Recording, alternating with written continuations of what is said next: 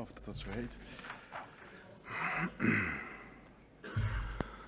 Quo usque tandem factionem cartellum et officiorum magina patientia nostra ab utitur.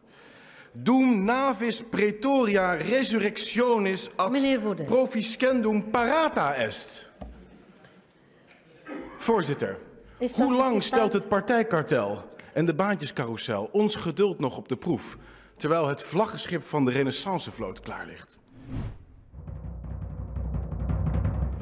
Ik wil graag een motie indienen waarin wij als Kamer ons uitspreken om dat nou eens te gaan veranderen. De motie luidt, de Kamer gehoord de We moeten het beraadslaging. op papier hebben. Ik heb het nog niet op papier, Ja, maar in het hoofd is het aanwezig. Nee, maar zo werkt het niet. Je moet het echt op papier hebben. Dus, volgende keer.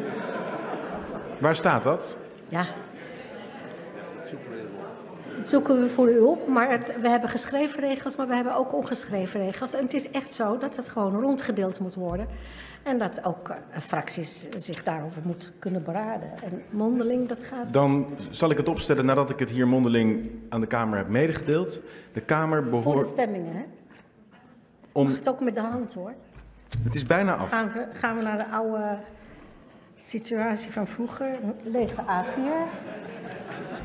Het heeft toch, Even aan een papiertje, voorzitter. ja, hier, kijk eens. Ja, ik heb er net eentje gekeken.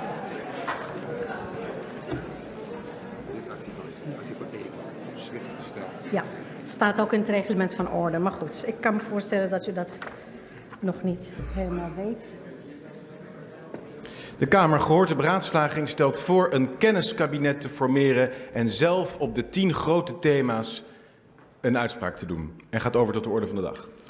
Wordt eh, de indiening van deze motie in voldoende mate ondersteund? Dat is het geval, dan maakt ze deel uit van de beraadslaging. Prachtig. Dank u wel. Eh, de heer Baudet, namens Forum voor Democratie.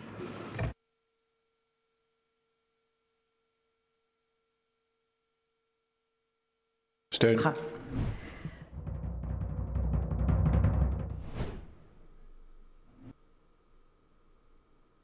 Ja, iedereen is jaloers op uw kapsel, zie ik. Dank u wel. Ja. Ja. Iedereen heeft een soort lockdown. Wie ook eh, wil, kapsel, ik eh, heb het eh, telefoonnummer van mijn kapper voor jullie wel beschikbaar. Voorzitter.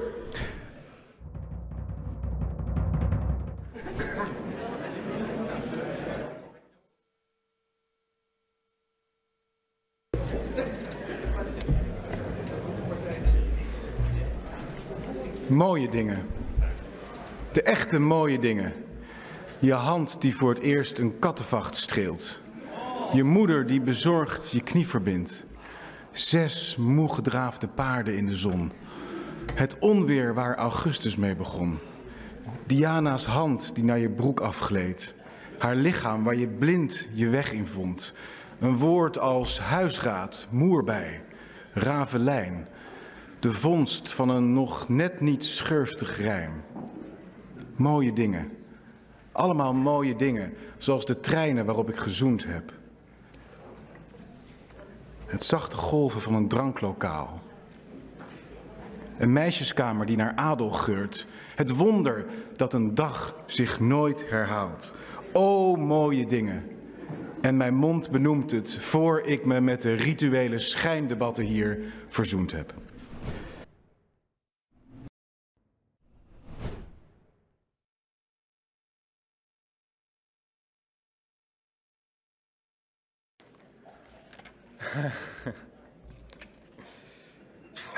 Voorzitter, het is volstrekt helder.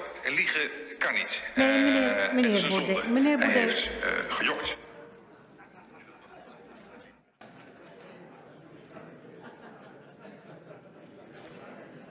Dank u wel.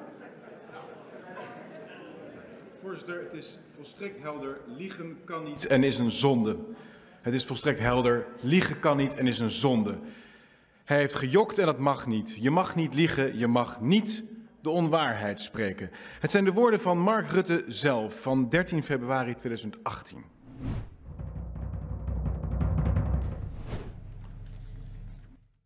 Dank u wel.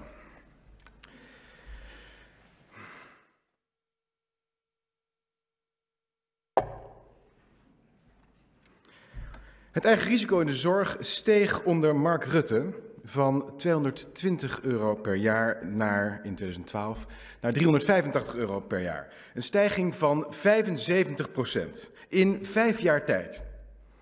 Nu werd vandaag gelukkig bekend dat het eigen risico niet nog verder verhoogd wordt, maar dat de zorgpremie dan weer wel verhoogd wordt. Het is een klassieke broekzak-vestzak-truc. Edith Schippers speelt balletje balletje met de kiezers. Niet het eigen risico verhogen, want dat bleek op te veel weerstand te stuiten. Maar dan weer wel de zorgpremie verhogen en nu maar hopen dat de mensen het allemaal niet meer kunnen volgen.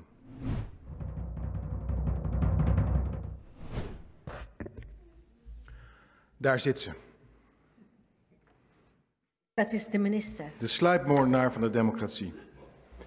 Kaisha Olongren, de D66-demoniseringsminister, de censuur-tsarina. Degene die namens het kabinet Rutte onze vrije samenleving wil ondermijnen. Degene die Forum voor Democratie een bedreiging noemde voor de democratische rechtsstaat en die zei dat wij strafbare feiten willen plegen. Zij, ze is zelf de grootste bedreiging voor de democratische rechtsstaat. En het is alsof ze ons ook nog allemaal arrogant in het gezicht uitlacht, terwijl ze de democratische rechten van de Nederlanders om zeep helpt, nu ze daarbij de zorgvuldige Nederlandse wetgevingsprocessen vertrapt, negeert en aan haar hoge laarzen lapt. De heer Boudet, we hebben vorige keer bij de eerste termijn afgesproken dat we de minister als minister aanspreken omdat zij in vak zit namens de kroon en niet als persoon en ook niet als een D66er. En ik zou willen dat u dat respecteert. Dus spreek de minister als minister aan en geen persoonlijke kwalificaties. Daar zit ze, de minister. Meneer Baudet. Ik spreek haar toch aan als minister? Daar zit de minister.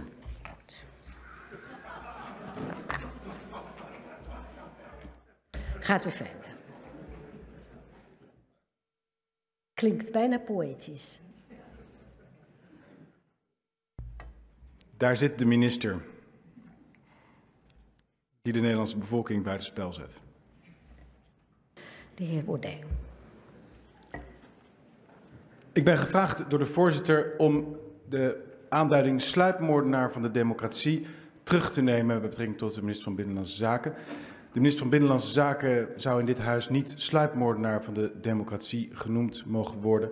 Uh, sluipmoordenaar van de democratie is geen parlementair taalgebruik.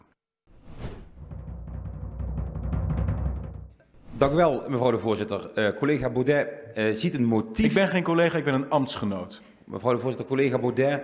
De heer van Wij zijn geen collega.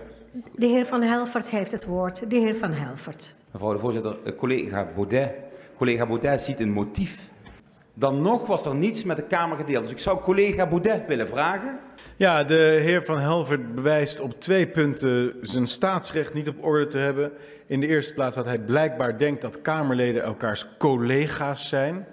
Nou, ik heb nog nooit in mijn leven collega's gehad en ik ben niet van plan ooit collega's te hebben. Wij zijn ambtsgenoten. We zijn geen collega's. Wij zijn ambtsgenoten. We zijn geen vrienden van elkaar.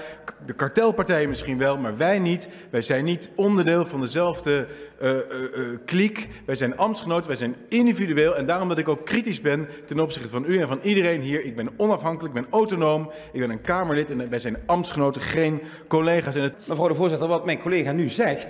Wijze waarop, waarop het hier in een, in een nou ja ik zou bijna zeggen, in een collegialiteit wordt, wordt een mist van collegialiteit wordt opgenomen. Mevrouw de voorzitter, nou begint mijn collega toch zelf een beetje te draaien. Want uh, hij weet nu eigenlijk wel heel erg goed. En nu, zegt mijn waarde collega, als mijn collega Baudet zegt, en dan zien we in een volgende debat dat we elkaar okay. als collega's, Kamerleden ook nog vinden. Ja, het blijft grappig, deze verwarring. Voorzitter, uh, natuurlijk is het belangrijk dat het parlement zijn uh, werk kan doen en het kabinet kan controleren op de uitvoering uh, van beleid, wet en regelgeving. En daarom hebben we ook met elkaar afgesproken ja. dat elke fractie onderwerpen die we willen behandelen kan voorleggen aan het fractievoorzittersoverleg, zodat we over dat onderwerp gewoon alsnog een debat met elkaar kunnen voeren. Dus ik zou eigenlijk aan de heer Baudet willen vragen om de volgende keer wel deel te nemen aan het fractievoorzittersoverleg. En dan hoor ik graag het lijstje ja. onderwerpen dat de heer Baudet wil bespreken en dan gaan we dat organiseren met elkaar. Ja. Welk fractievoorzittersoverleg was ik niet bij? Nee, de, de, de heer... Ja. Gisteren was ik er wel bij. Ja, ja, ja. Alleen. Uh... Maar Jette had natuurlijk bijna weer een punt gemaakt dat Baudet er niet was. Oh, jammer. Voorzitter, Gemist. Probeer het volgende week nog een keer. Ik maar, wil Voorzitter, voorzitter excuses. Ik heb de heer ja. Baudet niet gehoord in het fractievoorzittersoverleg gisteren. Maar daar heeft hij gelukkig wel mee kunnen luisteren. Maar dan nogmaals mijn vraag. Ik heb schriftelijk, mijn microfoon was stuk. Heb ik met mevrouw Ariep besproken. Ik heb schriftelijk mijn input gegeven in het fractie. Ik vind het allemaal best hoor. Nee, maar, maar hou op met het goedkope vliegen afvangen. U was er niet, u was er niet. Die truc is nu honderd keer toegepast. Honderd keer niet leuk. Ja. De eerste keer was hij leuk. Ik ga jullie allebei... Nee, meneer Jetten. Want we hebben een goed debat gehad. En het ging ook waardig. En ik neem even mijn opmerking terug van zojuist. Want dan was de er wel bij dat niet ja. moet zeggen. Maar... Voordat ik het woord geef aan mevrouw Ellemet, wil ik als voorzitter even een punt van orde maken. Ik zie collega Baudet staan. Uh, niet ingeschreven voor deelname aan het debat. Geen woordvoering in de eerste termijn. Dat betekent dat ik dus interrupties niet kan toestaan. Dus het spijt me dat ik u moet teleurstellen. Een Kamerlid mag toch het woord voeren? Ik ja, was zeker, maar wel binnen de kaders van het reglement van orde. Ja, en het staat niet in het reglement van orde dat het niet mag. Jawel, er staat in het reglement van orde dat dus de intekening moet plaatsvinden. En er staat, uh, en de, de, de regel hier in het uh, huis is dat interrupties worden toegestaan aan degenen die woordvoering hebben gedaan. Dat is gebruik in dit huis, maar gebruiken gedaan. kunnen worden aangepast al naar gelang uh, de gewoonte... Dan leg ik de deelnemers van het debat voor of men bereid is om Baudet toe te laten tot de interruptie. Dat lijkt me dan de meest zuivere route. Voorzitter, het toelaten van een interruptie is enkel en alleen aan u. Ik sta het niet toe, maar als de Kamer van, uh, van, van oordeel is, de, dus de deelnemers aan het debat van oordeel zijn dat het moet kunnen, ben ik bereid om me daarna te voegen. Ik ben nu al dienaar. De voorzitter beslist. Het is ja, echt dan, alleen. Ik hoor dus graag de reacties van de deelnemers en daarna beslis ik. Steun voor de, de lijnvoorzitter om alleen aan de, degenen die ingeschreven zijn voor het debat uh, interrupties toe te staan. De voorzitter steunt ervoor. Dit is een uh, complex debat. Daar hebben we met elkaar de tijd voor genomen argumenten uit te wisselen, ook in eerste termijn. En het is niet voor niks dat wij spelregels hebben om het op die manier te doen. Uh, dus nu geen ruimte zomaar voor een interruptie. Mevrouw Ellemeet.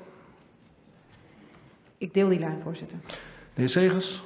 Geen ruimte voor binnenwandelende politici, alleen voor mensen die nou, zich hebben voorbereid, zich hebben ingeschreven en fatsoenlijk mee. Dus mevrouw Sasias. En dat is ook uh, de mening van 50 plus. De heer Ramakers. Ook onze mening. Mevrouw Van den Berg. Daar sluit ik me bij aan, voorzitter. De heer Kuzu. Voorzitter, ik gun, ik gun de heer Baudet zijn filmpje. Ja. maar de conclusie is dat er geen meerderheid is voor toelating tot het debat. Dus, mijn heer Baudet, de Kamer is niet bereid om af te wijken van de regels die zij zelf gesteld heeft. Dank. En dat Syrische gezin, zeg ik tegen de heer Baudet, dat heeft drie kinderen. De een volgt nu een opleiding tot ICT'er, de tweede een opleiding tot apothekersassistent en de derde wil graag politieagent worden drie Syrische vluchtelingen nee, nee, nee. die in Meneer Nederland... Baudet. De heer Jetten is aan het woord. Die, nee, die, nee, nee, nee. Die, nee. Ja, eerst even Voorzitter. Daar zit ze, de sluipmoordenaar van de agrarische sector. Terwijl onze boeren op de rand van de Mag afgrond ik heel staan, even? doet minister Schouten Mag ik alles heel aan. even? U gaat toch deze minister sluipmoordenaar noemen? Van de agrarische sector. Nee, dat kan niet. Neem het terug. Dit kan echt niet. Het gaat te ver. Nou, dan vind ik het echt stuitend dat u dat zegt. Daarvan neem ik dan kennis.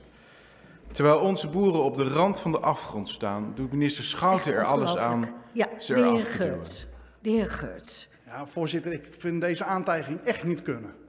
En ik ondersteun de oproep van onze Kamervoorzitter om deze woorden mee te nemen. Uh, om die terug te nemen. Dit kan echt niet. U, je, u kunt, zegt de heer tegen Baudet, de minister niet zo betitelen in uw eerste zin. Kan echt niet. U heeft er ook geen onderbouwing nog voor kunnen geven. Maar ik verzoek u om dit gewoon terug te nemen. Ik zou echt beroep op u willen, willen doen om die woorden terug te nemen. U kunt het uh, niet eens zijn met het beleid van de minister. Inhoudelijk, uh, het beleid uh, van mij mag, heeft u alle ruimte om dat af te kraken. Maar iemand voor sluipmoordenaar uit te maken, vind ik gewoon niet kunnen. Dus ik, ik, ik denk dat het goed is als u dat gewoon doet. Ik vind het beleid niet kunnen. Ik vind het beleid niet kunnen wat wordt gemaakt in Nederland. Ik vind de besluiten die worden genomen niet kunnen. En ik vind dat er een sluipmoord wordt ondernomen op onze agrarische sector. En ik hou daar degene die dat beleid maakt voor verantwoordelijk. En ik denk niet alleen dat dat mijn recht is, maar zelfs mijn plicht. Want het is onze taak als volksvertegenwoordigers om op het scherp van de snede beleid te bekritiseren, om alternatieven voor te stellen en om op te komen voor de mensen in Nederland. Ja, maar niet om een minister voor sluipmoordenaar uit te maken. Dat kan gewoon niet. De heer Moorlag. Ja, voorzitter, als de heer Baudet dit uh, niet terugneemt, heb ik wel even behoefte aan een korte schorsing om met de collega's te overleggen. Voorzitter, ik kan me voorstellen dat je in een verhaal en een betoog behoefte hebt aan metaforen en beelden om je verhaal duidelijk te maken. Alleen die moeten wel ook uh, de werkelijkheid uh, enigszins weerspiegelen. Uh, ik geef collega Baudet echt in overweging, ik steun dat, het verzoek van neem het terug. Dit, dit is een buitenproportionele vergelijking, moeten we niet doen enige hoffelijkheid in de omgang met elkaar is toch het minste wat we hier nog een beetje kunnen betrachten. Nou, zo even schorsen dan? De heer Futselaar. Ja, voorzitter. Een kind dat voortdurend om aandacht schreeuwt, moet je niet belonen met die aandacht. Wat mij betreft gaan we gewoon door. Ja, voorzitter, ik wilde u graag steunen. Ik denk dat het uh, goed is dat de voorzitter, uh, de heer Baudet, heeft gevraagd om de woorden terug te nemen. Ik hou zelf ook van hele scherpe duidingen. Die vrijheid moet er zijn. Uh, maar er zijn ook grenzen. Dus dank voor de opmerking van de voorzitter, die ondersteun ik ook. En tegelijk ondersteun ik ook de heer Futselaar. Niet te veel aandacht verder meer aan besteden. Ik heb een voorstel. Ik, ik, ik zeg mijn eerste zin opnieuw. Er wordt een sluipmoord op de agrarische sector uitgevoerd. En de... Nee, nee, nee. De vraag is, neemt u dat woord terug? Want uw uitspraak was gericht op de minister als persoon, als minister, als mens.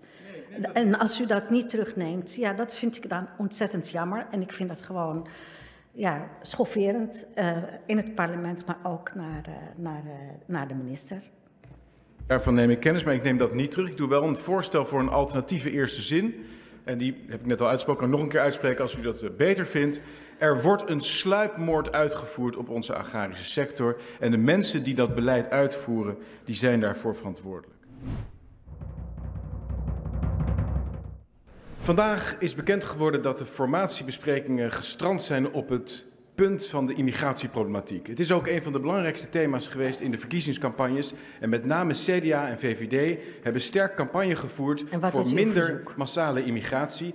Forum voor Democratie heeft vijf moties ingediend met concrete maatregelen om de massa-immigratie nu echt aan banden te leggen. En wij willen dat vandaag het moment van de waarheid is. We willen hoofdelijke stemming voor alle vijftien moties, zodat wij zien waar deze partijen nu echt voor staan. Even voor mijn helderheid. Misschien kunt u even de nummers van de moties uh, noemen. Al, zijn het alleen de vijf moties van jullie. Dus vijf keer hoofdelijk stemmen. Dank je wel, meneer Baudet. Mijn hemel. Dank, voorzitter. Naar aanleiding van uh, de opmerkingen van de heer Baudet om vijf keer hoofdelijk te gaan stemmen.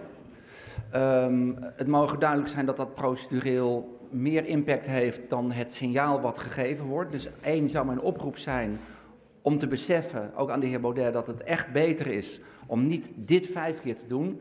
En om het iets makkelijker kan ik maken, kan ik ook wel zeggen dat mijn fractie 19 maal vijf keer tegen zal stemmen. En dat zal een eventuele hoofdelijke stemming niet uh, veranderen. Dus als hij graag het signaal wil geven wat het CDA gestemd heeft, dan weet hij dat bij voorbaat. En misschien kan dat helpen, opdat het dan niet meer nodig is om dit allemaal hoofdelijk te gaan doormaken. En daarmee de Kamer, uh, ik schat zo in, meer dan een uur uh, lam te leggen dat, dat draagt nergens aan bij. En ik zou dus aan de heer Baudet hier in het openbaar de oproep willen doen. Als je de verhoudingen aan het begin van een parlementaire periode goed wil houden. Als je niet wil dat als kleine minderheid, en mijn fractie is het zelf geweest, dat je, dat je in je werk gehinderd wordt, hinder dan ook anderen niet. Dus laten we dit circus ja. overslaan, is mijn oproep. Maar als hij het wil, dan doen we het braaf. Maar misschien uh, kunnen we tot een compromis komen en de heer Baudet vragen om één stemming dan hoofdelijk te doen. Het is inderdaad een grondwettelijk recht van de leden om een hoofdelijke, ja, ja, ja, ja, om een hoofdelijke stemming uh, in dit geval aan te vragen. Maar er is beroep op u gedaan, meneer Baudet, uh, om daar anders mee om te gaan. Dus ik wil u wel de gelegenheid geven om even kort daarop te reageren. Het is gebruikelijk in dit huis om ook met elkaar een beetje rekening te houden. Hoeft niet altijd. Het gebeurt ook niet altijd. De heer Baudet, wat is uw antwoord? Mevrouw de voorzitter, onze vijf moties kunnen in onderlinge samenhang worden bezien. Tezamen pakken zij de vijf aspecten aan van de ongecontroleerde immigratie die ons land overspoelt. Het is logisch dat partijen ofwel voor ofwel tegen het pakket van vijf moties zullen zijn. Dus één hoofdelijke stemming over al die vijf moties tezamen is een... Nee, dat kan niet. Mooi compromisvoorstel dat wij nee, aanvaarden. Nee. Echt per motie wordt er gestemd. U kunt één motie kiezen eventueel uh, om hoofdelijk daarover te stemmen. Maar het is... Uh... En de rest kunnen we gewoon uh, via Ja, dat, dat gaat niet. Over alle moties. Dan stel ik voor dat we over de eerste motie hoofdelijk stemmen. Oké, okay, en de rest doen we gewoon via gewone stemming. Kijk, dank u wel.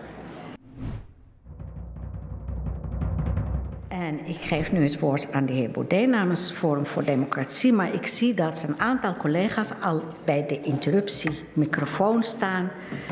En um, ik weet niet wie ik als eerste eigenlijk het woord moet geven. Toch maar de heer Baudet.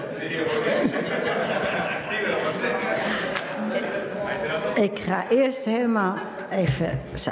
De heer Baudet, waarom staan ze daar? Weet u dat?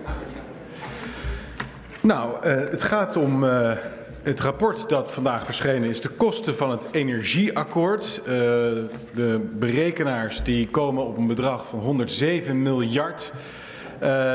Daar wil ik het over hebben met de Kamer. En ik wil het specifiek hebben over het hoofdstuk waarin gesproken wordt over de misleiding volgens de onderzoekers van de Kamer door opeenvolgende ministers okay. die dit thema hebben, uh, in hun portefeuille hebben gehad. Zowel Kamp als Wiebes. Dat is een zeer ernstige zaak. Dus we hebben eigenlijk twee hele grote thema's te bespreken. Ten eerste de astronomische kosten van alleen al het energieakkoord, wat een voorlopertje is van het klimaatakkoord. En twee, de bouwde stelling van de onderzoekers dat de Kamer ronduit misleid is. Dus ik wil een debat en wel zo snel mogelijk. Ja. Dan ga ik naar mevrouw Agnes Mulder namens het CDA. Ja, voorzitter. Wij staan hier met alle klimaat- en energiewoordvoerders omdat we op dit moment een commissiedebat hebben hier in de Tweede Kamer. Ook onder andere over het voortgang van het energieakkoord. Zeker. En we nodigen onze collega Baudet van harte uit om uh, mee te gaan zo met ons naar de zaal. En om deze vragen direct daar te stellen. Sneller een debat voeren kan volgens mij niet. Dus de heer Baudet van harte welkom. En ik uh, steun daarom een apart debat op dit moment ook niet. Want ik ben heel erg benieuwd ook naar de antwoorden op de vragen van de heer uh, Baudet. De heer Moorlaag namens de PvdA. Ja, voorzitter, één advies en één verzoek. Het advies is om aan goed agendabeheer te gaan doen, zodat het uh, overleg met de minister, die om twee, het overleg met de minister om twee uur uh, is begonnen, dat het bijgewoond kan worden. En het verzoek is om van de spreekgestoelte af te komen en mee te gaan naar de commissiezaal, want dan kunnen we alle uh, punten die de heer Baudet hier noemt bespreken. Ik steun het verzoek voor een apart debat niet. Kom mee naar de commissievergadering, is mijn oproep. Het lijkt erop dat uh, meerdere woordvoerders dit nu als uh, verdedigingslijn hebben bedacht. Hè, want er is nu ook een overleg. Dus uh, ik zal misschien even reageren voordat we dat nog vier, vijf keer gaan horen. Nou, ze dit rapport, hun terwijl, ja, maar terwijl wij hier zitten, Senato Deliberante, wordt dit rapport gepresenteerd. Okay. Dus het is niet mogelijk nu om aan de minister te gaan vragen wat hij ervan vindt. Ik weet al wat hij gaat zeggen. Hij zegt, ik heb het nog niet gelezen, want het is nog niet uit. Ik wil jullie allemaal uitnodigen om niet terug te gaan naar de commissie, nou, maar die bijeenkomst daar te schorsen en met mij mee te gaan ja. naar de Prinsessenkade hier om de hoek, waar op dit moment, op dit moment, Meneer, dit rapport gepresenteerd wordt en toegelicht wordt door de opstellers ervan. Dat is veel nuttiger om dat eerst tot je te Goed. nemen dan nu uh, als een kip zonder kop aan de minister dingen gaan vragen die vervolgens zegt dat hij er niet op kan dat antwoorden omdat hij het nog niet heeft gelezen. Nee, dan ga ik naar mevrouw Jezelgus. Voorzitter, ik, ik heb zojuist mijn eigen inbreng moeten onderbreken om hier naartoe te komen. Ik wil wel de heer Baudet alsnog uitnodigen om mee te gaan. Hij heeft het rapport vast. Ik heb hem ook al kunnen lezen. U heeft hem in uw handen. Dus u heeft hem al. U heeft er kennis van kunnen nemen. Klopt. Wij ook. Ik heb er nogal flink wat kritische kanttekeningen bij. Dus als de heer Baudet zo goed voorbereid is, ik wil hem dolgraag in het debat dan kunnen bevragen. Ook op dat rapport. En ik heb ook vragen aan de minister. Dus er is echt geen reden om een debat uit te stellen over de kosten van klimaatbeleid. We zijn er nu mee bezig. En de heer Baudet is meer dan welkom om over die kosten en baten met ons te spreken. Uh, dan zijn we aangekomen bij de heer eh, Baudet namens Forum voor Democratie. Gaat u gang. Dank u wel. Voordat ik met mijn uh, bijdrage begin, wil ik een punt van orde maken in de vorm van een vraag aan de minister of hij vandaag in kan gaan op mijn gedetailleerde vragen over het rapport dat vandaag verschenen is over de kosten van het energieakkoord. En dan bedoel ik niet alleen de inhoud van het KEA-spreadsheet en alle kostenuitrekening, maar ook de beschuldigingen en de, uh, aan het adres van de heer Kamp en aan het adres van hemzelf inclusief de tijdlijn over de wijze waarop de Kamer is geïnformeerd. Het, het, is een eh, prima verzoek dat u dat doet, maar het valt niet onder een punt van orde.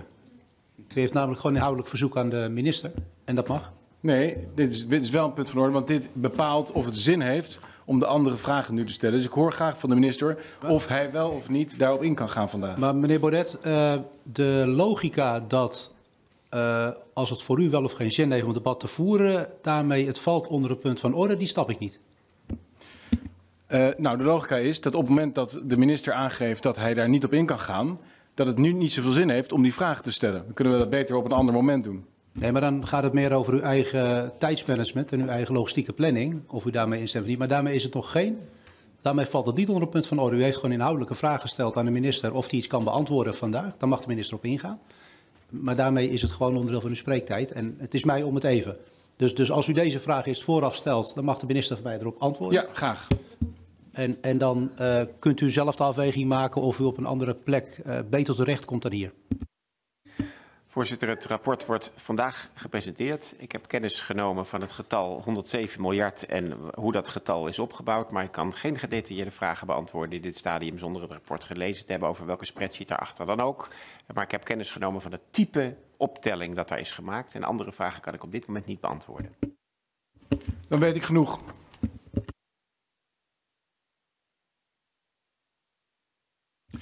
Dank, meneer, meneer voorzitter. Mag ja. ik dan een opmerking maken nu de heer Baudet nog in de zaal is?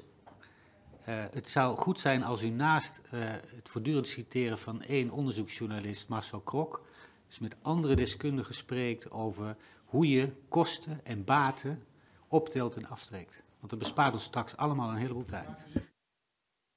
Meneer Baudet, ik stel voor dat u... Uh, de heer Baudet verlaat de zaal. Daarmee zijn wij met een wat bijzondere einde uh, tot een einde gekomen van, aan de zijde van de Kamer, de eerste, het eerste plenaire deel van de Kamer. Meneer Baudet, wat heeft u nou weer aan? Ik vind het niet gepast bij dit debat.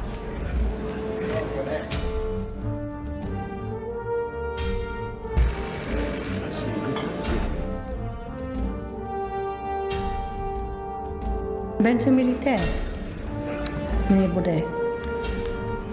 De, de toedracht van mijn uh, outfit zal direct duidelijk worden. Het woord is aan de heer Baudet namens Forum voor Democratie. Maar um, ik mis wel één pagina van mijn speech. Dus ik loop met uw welnemen even terug naar mijn tafel.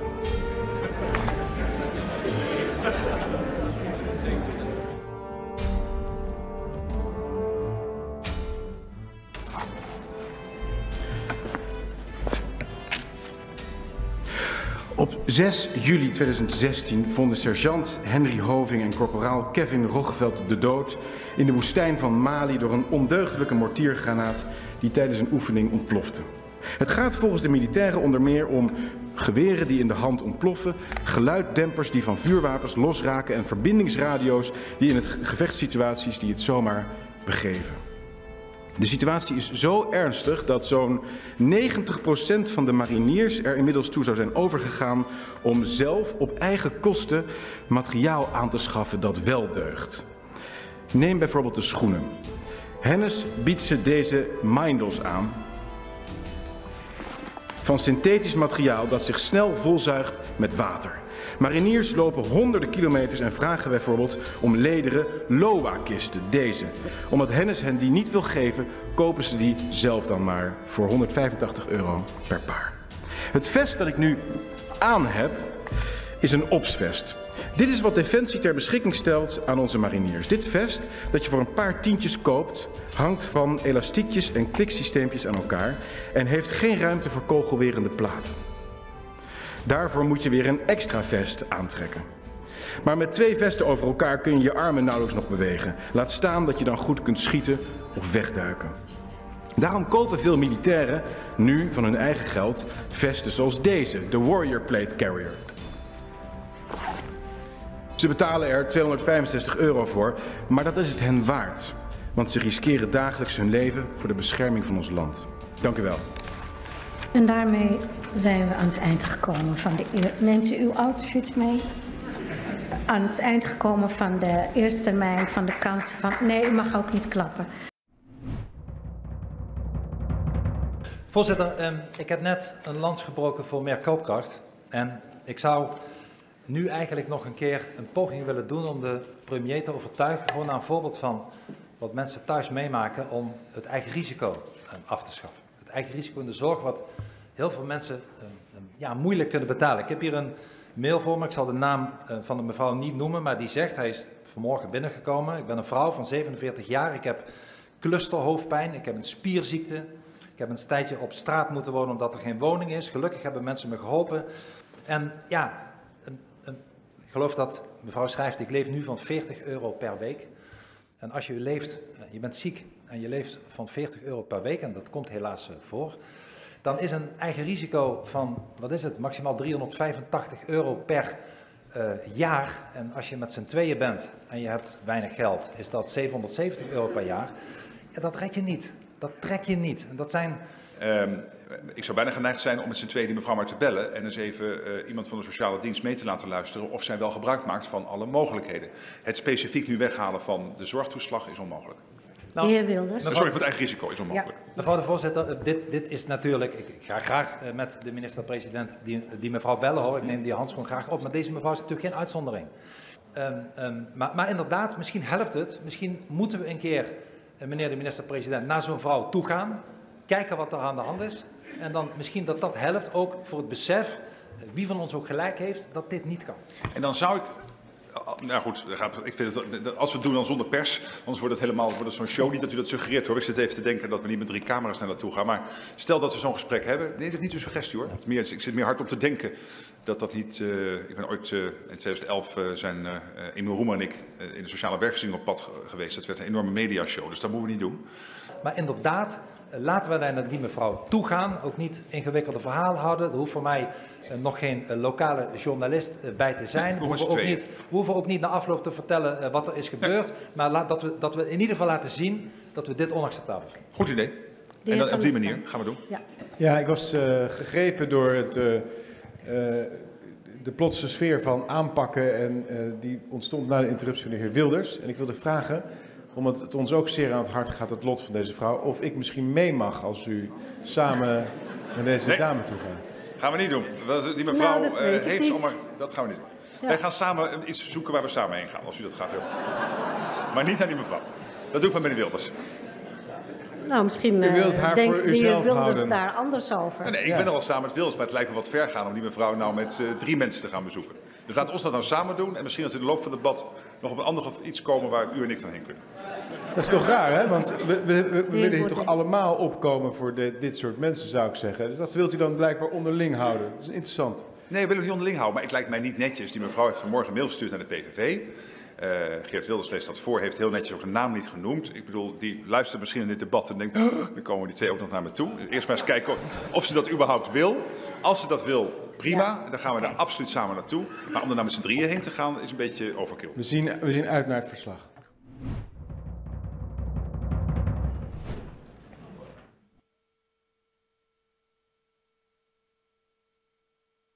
Meneer Baudet, u heeft, u heeft, meneer Baudet, u heeft de meeste interrupties. Uh, nee, niet de beste. En dat eh, moeten anderen zeggen, zeg ik altijd. Maar um, dan laat ik één vraag toe en dan gaan we echt verder met het debat. Want dat is niet eerlijk ten opzichte van anderen. Hoe, hoeveel interrupties heb ik gedaan en hoeveel heeft mevrouw Ouwehand gedaan? Nee, dat gaan we. Uh, meneer Segers, weet u, hoe, weet u hoeveel atmosferische deeltjes ongeveer nu CO2 zijn? Dat, dat wordt het. uitgedrukt in deeltjes per miljoen, hè? ppm. Hoeveel ongeveer? Misschien kunt u gelijk zeggen wat u daarmee wil. Ja, als u uh, allerlei weetjes uh, hier te bedden wil brengen, ja, kunt u dat beter, kunt gewoon, u het gewoon zeggen. Gewoon ongeveer hebben we het over 1, 2, 1000, 10.000, 100.000 deeltjes per miljoen atmosferische deeltjes. Ongeveer. Gewoon even, weet u überhaupt nee. waar u het over heeft? Weet u iets over CO2, over atmosfeer, over broeikaseffect? Kunt u een hele grove indicatie geven van hoeveel deeltjes CO2 er ongeveer in de atmosfeer zitten per miljoen deeltjes? Mevrouw de voorzitter, ik ben geen klimaatwetenschapper. Dat is de heer Baudet ook niet. Maar wij moeten afgaan op het beste weten van onze beste wetenschappers. Er is een grote consensus onder wetenschappers dat er sprake is van opwarming van de aarde, klimaatverandering, dat dat veroorzaakt is door CO2-uitstoot, door menselijk handelen. En dat als wij daar iets aan doen, dat dat positieve impact heeft op biodiversiteit, op leefbaarheid. Ik moet afgaan op de beste wetenschappers en de overgrote consensus van klimaatwetenschappers. Niet op een klimaatmanifest in de Telegraaf, maar op wetenschappers die voor 97% erover eens zijn dat dit cruciaal is om nu te handelen en dat handelen verschil maakt. Nee, nee meneer Baudet, het spijt me zeer. Helemaal niets. Meneer Baudet, gaat u verder, meneer Segers? Mevrouw de voorzitter, als als 97% van de ingenieurs in, noem eens wat, een stad als Genua zegt dat een brug gevaarlijk is. Dan kun je zeggen, er is nog 3% die daar wat anders over denkt. Maar dan is het toch buitengewoon verstandig om op die 97% af te gaan. En die brug niet over te gaan en die brug te vervangen. Je moet afgaan op het beste weten van de experts. Die zijn wereldwijd. Ja, mevrouw de voorzitter, er zit hier iemand dwars doorheen te praten. Ja, maar dat is niet de bedoeling. Ik zou zeggen, gaat u verder. De beste wetenschappers wereldwijd zijn bijeengebracht in het IPCC, in dat panel. Dat is een consensus. De heer Baudet die weet van een paar klimaatwetenschappers die daar wat anders over denken. Als dat een kleine minderheid is, is het buitengewoon onverantwoord om af te gaan op die kleine minderheid, daar waar de risico's zo groot zijn voor biodiversiteit, voor leefbaarheid, voor droogte, voor te veel regen, te weinig water. Al die risico's die nemen wij, niet alleen voor uzelf, ook voor uw kinderen en kleinkinderen. Ik stel voor dat u verder gaat.